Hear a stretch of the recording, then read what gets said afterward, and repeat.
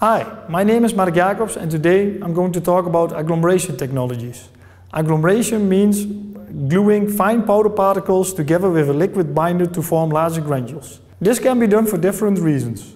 To improve the flowing properties of a powder, to adjust the bulk density of a powder, to improve the dispersibility of the powder in a liquid, to reduce the dust amount of a powder or to improve the product appearance and finally to prevent segregation of different powders in the original mixture. For the agglomeration we use our Flexomix technology.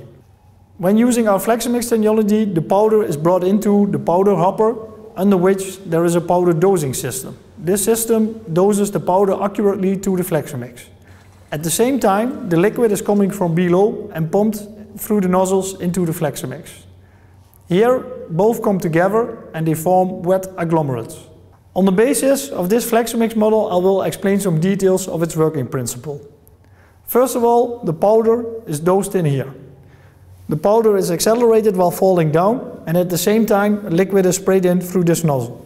This is the nozzle we use for spraying in the liquid during the mixing with the powder. During the mixing, uh, the powder and the liquid binder come together. The liquid acts as a glue, forcing the powder particles to glue together.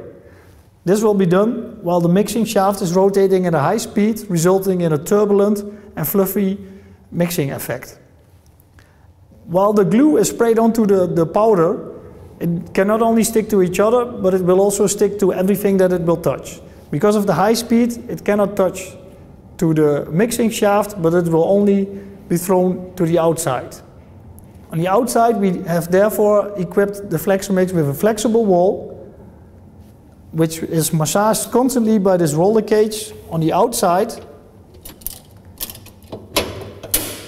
So this is moving up and down constantly to prevent any buildup on the Flexomix mixing chamber. The wet agglomerates are falling down freely in a fluidized bed dryer where they are dried off resulting in stable dried granules. As an example, we see the initial powders here, we see intermediate wetted agglomerates here, and we see final stable granules here.